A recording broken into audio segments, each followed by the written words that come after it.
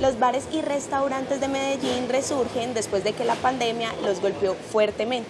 Ahora el reto es adaptarse al boom turístico que vive la ciudad de forma segura, responsable y en sana convivencia con sus vecinos. Estamos con el presidente de Asobares Antioquia, Juan Pablo Valenzuela, bienvenido y cuénteme cómo han ejecutado todos estos nuevos desafíos.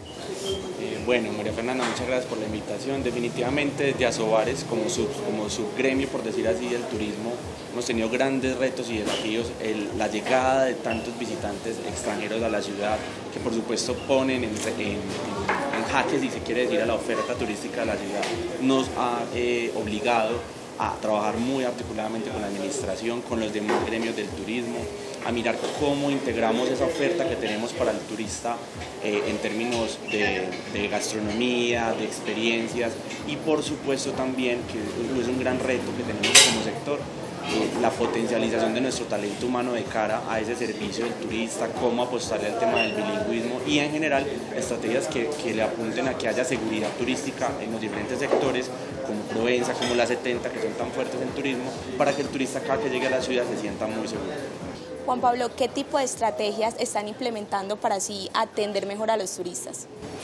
Bueno, María Fernanda, sin lugar a dudas, eh, digamos de esa primera estrategia a la que le queremos apuntar fuertemente es al tema del fortalecimiento de nuestro talento humano, en temas de servicio al cliente, de recepción del turista, de bilingüismo, hay que apuntarle mucho a que nuestros eh, trabajadores y colaboradores tengan estas competencias. Por su parte también tenemos la obligación de trabajar con la Policía Nacional en estrategias que le apunten a la seguridad turística, a tener redes ciudadanas eh, de seguridad, esto es supremamente importante. Otros temas en los que estamos trabajando conjuntamente con los gremios del turismo es temas de manejo de base de datos. La base de datos turística es muy importante para saber cómo se comporta el, turismo, el turista cuando llega a la ciudad. En todo caso, esto está ligado con el tema de Medellín como destino turístico inteligente y todo ese tipo de estrategias le, apuntan, le apuntan a que la ciudad cada vez avance más en, en ser un muy buen destino para el turista y que toda la cadena de, oferta de entretenimiento y de gastronomía y turismo, pues por supuesto que estemos articulados de la mejor manera para que la oferta sea de alta calidad.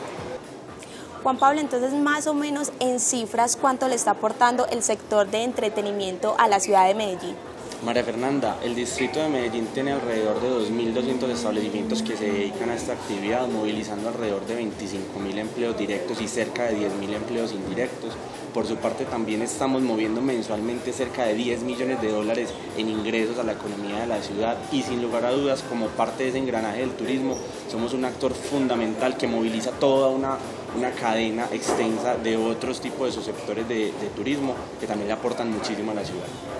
Junto con Asobares y otros gremios que involucran el turismo y el entretenimiento en la ciudad, Medellín se prepara para seguir recibiendo a más turistas de una forma responsable y segura porque el consejo somos tú y yo.